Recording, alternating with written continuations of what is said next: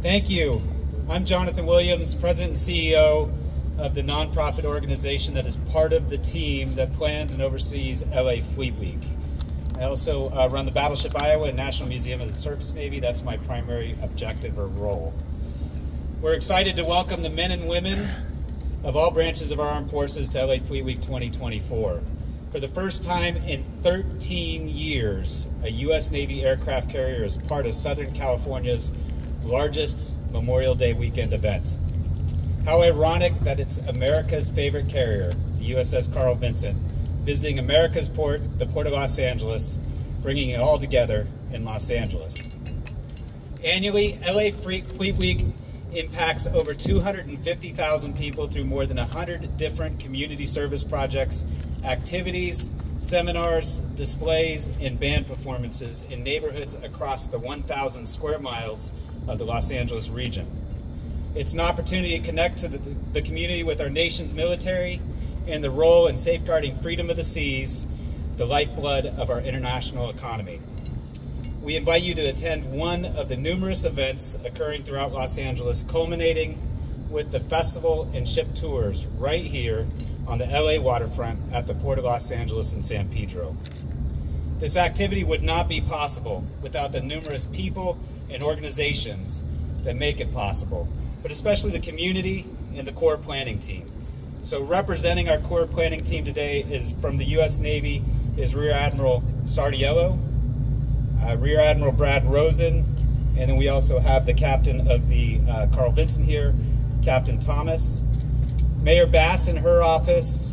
Uh, we're joined today by the Deputy Mayor, Deputy Mayor of Infrastructure, um, Randall Winston, the Port of Los Angeles, recognized uh, Port of LA, uh, Commissioner Williams is out here. Um, Port Police Chief Gazsi and the Port Executive Director Gene Seroka and several staff members. City of Los Angeles EMD General Manager Carol Parks. Um, once again, the Port of Los Angeles Police Department. Uh, I also saw Deputy Chief McManus out there and uh, Captain McGuire from the City of Los Angeles LAPD, uh, the Battleship Iowa team, and the USO. I'm most proud of what LA Fleet Week has accomplished for our city, state, and nation. As we approach major events such as the World Cup and the Olympics 2028, we can be confident that the city of Los Angeles is better prepared because of our efforts.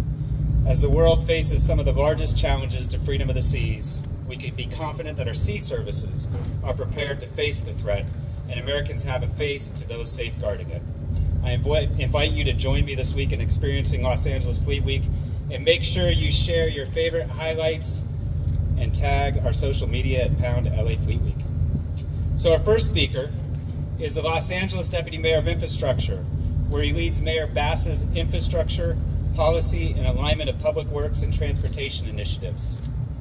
Deputy Mayor Winston's career spans law, architecture, and public service, which collectively have shaped a career focused on advancing equitable, sustainable development. Please, please join me in welcoming Deputy Mayor Randall Winston.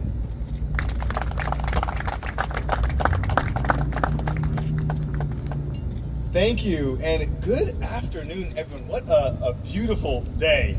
Uh, I want to thank you for that kind introduction. Again, my name is Randall Winston, and I serve as the Deputy Mayor of Infrastructure for Los Angeles Mayor Karen Bass. It is an honor and a pleasure uh, to be aboard the USS Carl Vinson, a vessel rich in history uh, as we continue honoring the legacy of Los Angeles Fleet Week. You know, this week, our opportunity is to continue learning about the incredible vessels that protect our shores and to meet some of the Marines, sailors, and members of the Coast Guard who serve our country. As the Judge Advocate General in the Army National Guard, it's a particular special honor to me to join in on the celebration welcoming our service members back. You know, for the last seven years, the Los Angeles Fleet Week Foundation and many of those behind me have been dedicated to supporting and advancing the mission of the annual LA Fleet Week event. I also want to take a moment to acknowledge the families throughout Los Angeles who have loved ones at sea or serving throughout the world. Know that our city is grateful for the sacrifices that you are making as well. Once again, thank you to all the service members and veterans with us today. Throughout Fleet Week, I encourage everyone to take a moment to interact with our visiting service members and express your gratitude for their service.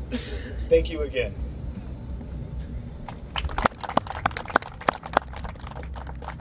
Thank you. I actually missed an important person in the list I have, Lieutenant General General Cederholm, who is right behind me. Um, I've kind of told him he's my security force today, but he is a wonderful man that's uh, here representing the Marines, which are an important part of our uh, core team uh, and sea services. So I kind of have to admit, it's pretty cool standing on the deck of the aircraft carrier. How many people think it's cool to be out here? Anybody? Oh yeah. All right. Cool. Our next speaker has led the Navy's California Fleet Week planning since assuming command of Navy Region Southwest on the first day of LA Fleet Week 2022. He's a 1995 graduate of the U.S. Naval Academy, and he was designated as a naval flight officer and served in numerous roles, including commanding, commanding Naval Station Norfolk, our nation's largest Navy base, and today is responsible for Navy shore installations for six Southwest states. Please welcome who I call LA Fleet Week's homegrown admiral, Rear Admiral Brad Rosen.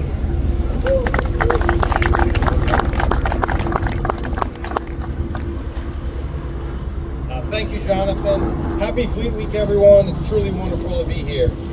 Deputy Mayor Winston, thank you for inviting the Navy, Marine Corps, and Coast Guard here to celebrate Los Angeles Fleet Week, which in just seven years has become the gold standard of all Fleet Weeks. We're all really excited to be here and hope our participation matches your extraordinary efforts. Thousands of our sailors, Marines, and Coast Guardsmen will take part in events across the greater Los Angeles area this week, engaging with you, the public that we serve. Navy Band Southwest and the 1st Marine Division will perform concerts in neighborhoods across the greater LA area. From the Grove to Dodger Stadium to Mission Hills, to Venice, Disneyland, and Angel Stadium, our uniformed service members will experience LA. We'll be volunteering on community service projects like Habitat for Humanity, serving meals to our disadvantaged neighbors, and cleaning beaches. We'll be seeing all of LA's legendary sites. We'll be at the ballpark, and we'll be observing Memorial Day ceremonies in Long Beach, Rancho Palos Verdes, and Pacific Palisades. And of course, we're going to Disneyland. And most importantly, we are here to meet all of you. We want to know who you are, and we want to share our stories with you. We want to tell you about our motivations for service, our experiences in ports around the world, and the sense of pride and satisfaction we feel in a noble cause. Our sailors are making an impact at an extraordinarily young age, on a level rarely seen in the civilian world. At ages 18, 19, or 20 years of old, they are leading their teams of their peers and overseeing multi-million dollar equipment. With over 60 cutting-edge career fields to excel in, American sailors are the world's most adept and resilient warfighters. Service to our nation is ingrained in the very fabric of this country. And service in the Navy is more than just a job. It represents a chance to serve something bigger than ourselves. I encourage all Angelenos to come out this week to engage with your sailors, Marines, and Coast Guardsmen. Listen to their stories of service and adventure. Perhaps those stories may speak to you. And if what you hear inspires you to answer the call and join our ranks, we look forward to welcoming you into our Navy family. On behalf of the members of the Sea Services, I extend my sincere gratitude to all the citizens of the Los Angeles community for this warm welcome. Thank you again, Deputy Mayor Winston, for hosting our sailors and Marines here in beautiful Los Angeles. We look forward to an incredible week that will strengthen the bonds between our sea services and all of you who call LA home. Thank you.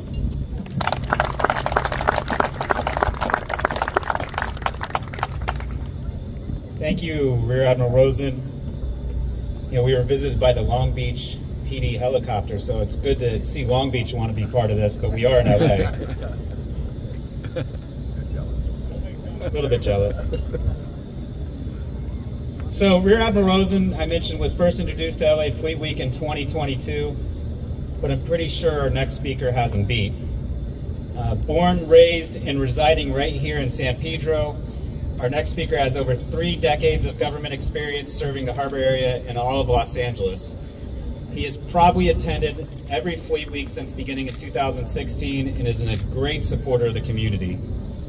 He also is a proud uncle of two nephews that serve in the Navy. Please join me in welcoming our friend, council member from the 1-5, Tim McOsker.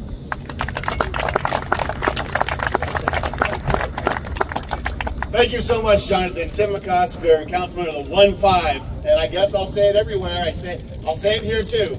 1-5. We used to be the 15th council district. Now we are one district, five beloved communities.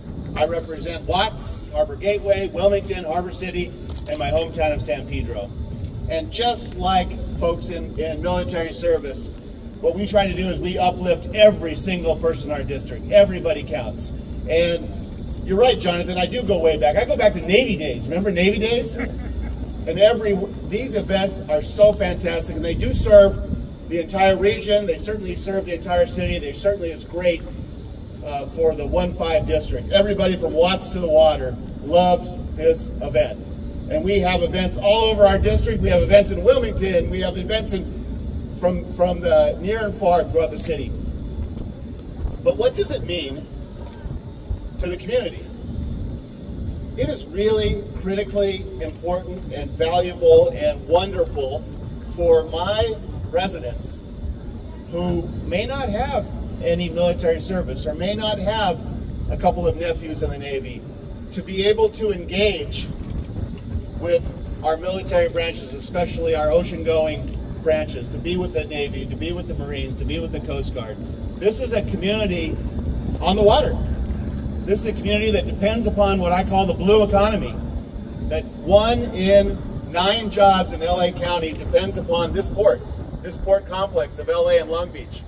And I don't think folks appreciate enough that what allows us to have this world trade is the freedom of the seas, the protection of the ocean, making sure that goods can come and go. In a port community like this, like a harbor area, where we depend upon these great longshore jobs, we depend upon goods movement, I don't think we often enough lay our heads down at the end of the night after a long day of work in the harbor and think to ourselves, thank God for the Navy and for the Marines and for the Coast Guard, making sure that those goods can move. This week is an opportunity for us to engage with you, to see your fantastic toys, to be with you as human beings, whether it's downtown over a drink or a burger, or to be on a tour with you, to see you as human beings and thank you for that service. And it's vitally important to us, and I hope it's beneficial to you as well. I will also say personally for me, and Jonathan alluded to it, and I wasn't going to mention, I do have two nephews that grew up here in San Pedro uh, that are both uh, sailors. One is, uh, he'll be a firstie next year. He's gonna, he's in Japan right now in training, but he'll be out and about in the world after he finishes up in Annapolis. And I have, and his name is Finbar. And I have another nephew, Aiden. Aiden is uh, lieutenant on the USS Mason, a destroyer, uh, in support of the, uh, the Eisenhower, and he's in the Eastern Mediterranean. And he's been there since August. Oh, no, excuse me. He's been there since October of last year. He's been there since October of last year. And I often pray for him and for his colleagues. And I will tell you that Every time we think of Aiden, we think of every individual sailor, everybody in the service that is protecting us abroad, protecting us here. Uh, we thank you very much, and God bless you.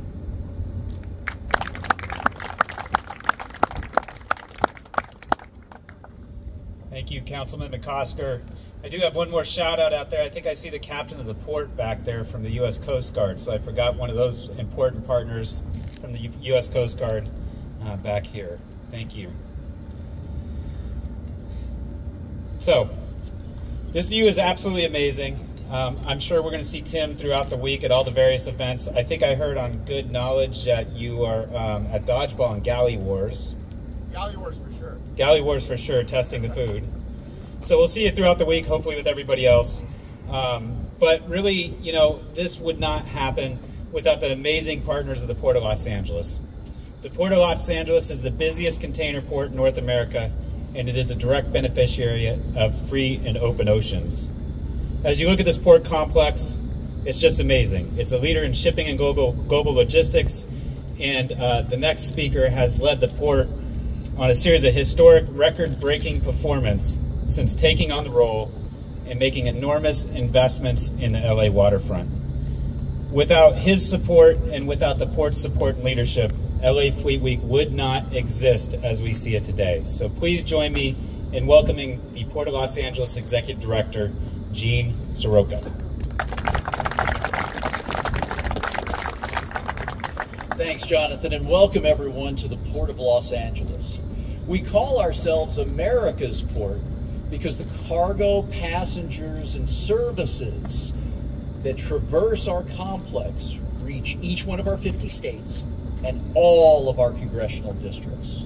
We truly are the engine of the American economy. And it is a life, once in a lifetime experience for many of us today to stand right here on the USS Carl Vinson. It is truly awe inspiring. On behalf of the entire Port of Los Angeles team who has joined me here today and some who are working across the 7,500 acre expanse, I'd like to welcome our friends Rear Admiral Brad Rosen, Carlos Sardiello, and captain of this beautiful ship, Matt Thomas. A special thank you to the officials who've already been named here today, including Deputy Mayor Randall Winston, our council member of the 1-5 Tim McOsker, Los Angeles Emergency Management Department, and, and friend Carol Parks, who came down from downtown today, and our commissioner, who is a resident right here in San Pedro, I. Lee Williams. I'd also like to acknowledge the hard work of the Battleship Iowa and its president, our friend Jonathan Williams, who every year makes LA Fleet Week a reality for this great port in our city and makes it just a little bit better, I think you're going to knock it out of the park this year, my friend. I'd also like to recognize our Deputy Chief, Greg McManus, and the leader of our head of public safety in Los Angeles Port Police now for nearly a decade, Tom Gazsi. We're also thrilled for the first time, thank you, Bruce McCray of the foundation who has single-handedly led fundraising for more than a decade now to make all of this possible. Bruce McCray, you truly are a friend of the Port of Los Angeles. And we're also thrilled for the first time to welcome the United States Air Force and the California National Guard to our LA waterfront this weekend. How privileged we are to have you join us at this annual celebration, an event that just keeps growing in size and popularity every single year.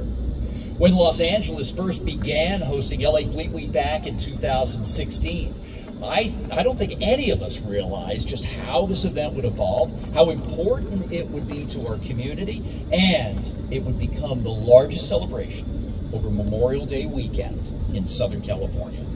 Over the next six days, we're expecting more than 100,000 guests and visitors to our waterfront, and they'll have an opportunity firsthand to be up close and look at active military ships, check out dozens of military and first responder displays at the expansive LA Fleet Week Expo, and experience daily aircraft flyovers, and simply enjoy a tremendous amount of fun with family and friends. Fleet Week is an event offered by the United States Navy at only a handful of American ports. So we're proud to be among those chosen locations year in and year out for an event that's honoring some of the real superstars in America, the incredibly brave women and men of our United States military.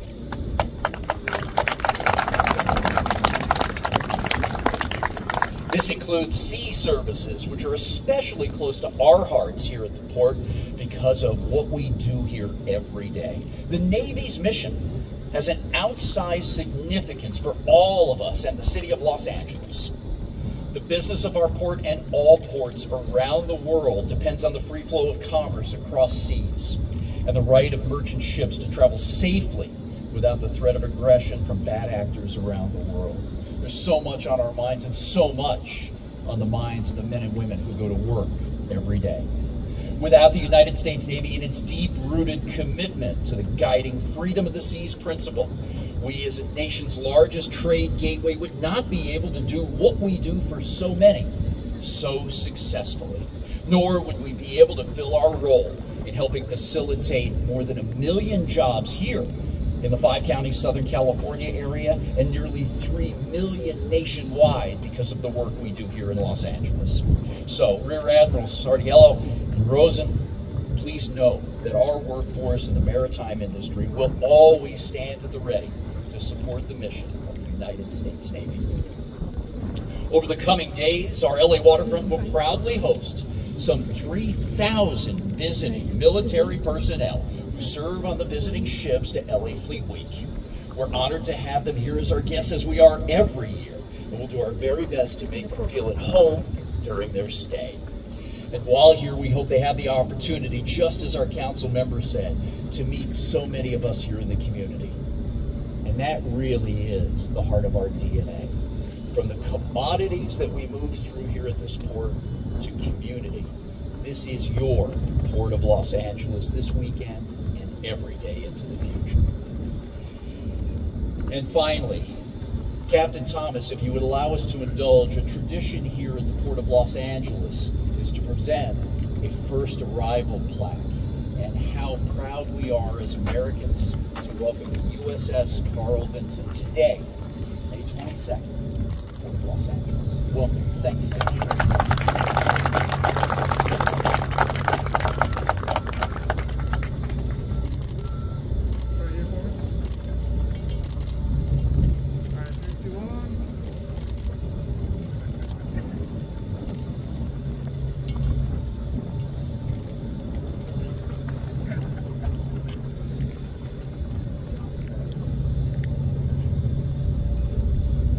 Thank you, Gene. You know, I, I uh, always forget a few people, so I need to make a shout out because Gene beat me to it with Bruce Double D McCrae over here. Gene won. Thanks, Gene. I'm never going to live that one down. Um, also, have for our organization have a couple important people and um, board members as well. I've got Doug Herman uh, here, and then uh, Jeff Gorell. Should I bury you, Jeff? So Jeff Gorell uh, is a, a, a, great volunteer of uh, LA Fleet Week and one of the co-founding uh, vice presidents. And his uh, official job is supervisor of Ventura County. So if they see you on the news, I'm sorry if you get in trouble up in Ventura County. Not my fault. So, you know, LA Fleet Week is much more than meets the eye. We've all seen how fun it is, all the great expos and exhibits. But, you know, a major component of the event is an exercise and a seminar focused on what's called defense support of civ uh, civilian authorities. Can't get that out. In basic terms, it is military support of civil authorities for major domestic emergencies, law enforcement support, and other domestic activities. Leading those efforts for the City of Los Angeles is Carol Parks, an experienced emergency manager with 36 years in the career field. Today, she leads the city's efforts in coordinating response and recovery activities during times of disaster and major planned events. So please join me in welcoming Carol Parks.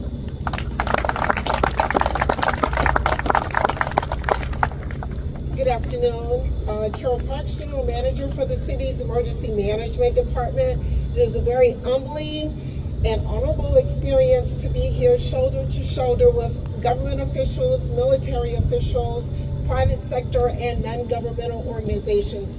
Truly, this is a historic day for the city of Los Angeles. And as we open LA Fleet Week 2024, I encourage all of Los Angeles to take a moment to celebrate and honor all of our military forces, especially the Navy, the Marine, and the Coast Guard, partners who have joined us for this very special annual event. As Jonathan mentioned, along with the celebrations, please know that public safety partners, emergency management, law enforcement, fire services, we are working together, looking at our plans, looking at all of our training curriculum to make sure that we are really prepared when LA has its worst day. We love the special events and we're all excited about from 2026 to 2028 from the World Cup to the uh, Olympics and Paralympics, but we know that During those times, anything can happen. With the threat environment that we are living in, it is important that we all be prepared. So we will celebrate all of you today who have joined us, and we encourage you to take a moment to think about your personal preparedness.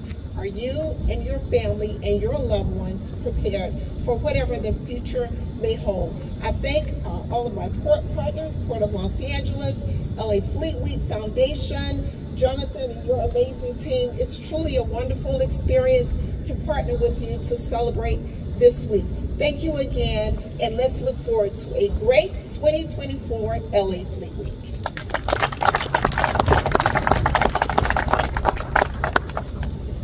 All right, thank you, Carol. Now, I was hoping he'd come in with a grand entry, but I guess I'm not getting that. I thought we were going to do a F-18 flying in, but that's not going to happen.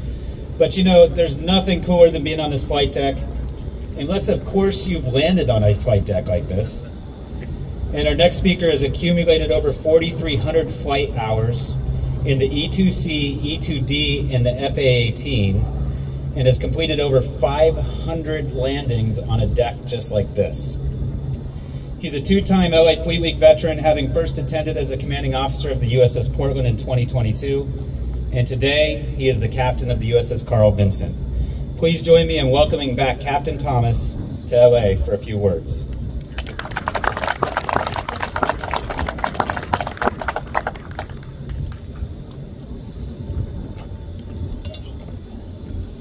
Good afternoon and welcome aboard USS Carl Vinson, America's favorite carrier.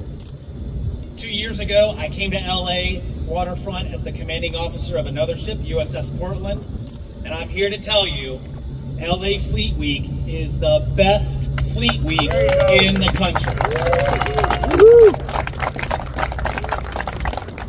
I'm excited to be back, and on behalf of the 3,000 men and women who serve aboard this ship, I'd like to extend my personal gratitude to Mayor Bass, Deputy Mayor Winston, and the City of Los Angeles Councilman McOsker for welcoming us so warmly.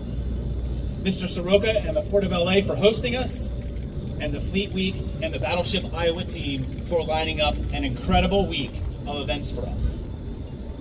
My sailors and I have been looking forward to this opportunity to meet Angelenos at various events and neighborhoods throughout the greater LA area, and we invite you to come down this weekend to visit USS Carl Vinson. We'd love to return the hospitality and give you the opportunity to, to see firsthand the critical cutting edge technology and the work our sailors do, most of them between the ages of 18 and 29, to preserve the peace and respond in crisis. I am very proud of each of the sailors that I am entrusted to lead, and I'm certain that you will when you meet them too. A big thank you again for welcoming us to LA, and we look forward to seeing you here on board the ship. Go Navy.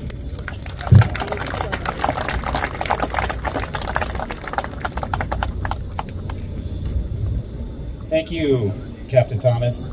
Uh, quick shout out, I see them sneaking back behind there, I think on a special tour, but our West Harbor friends, which run West Harbor down here on the waterfront and doing the development, uh, happen to be back there and they're going to be hosting a great West Harbor After Hours this weekend. So that concludes our remarks. Um, if you have any questions, I'd corner anybody you have behind me instead of just doing an open session of Q&A. And so I'm going to conclude that here, and uh, thank you all for coming down here, and have a great day. Thank you.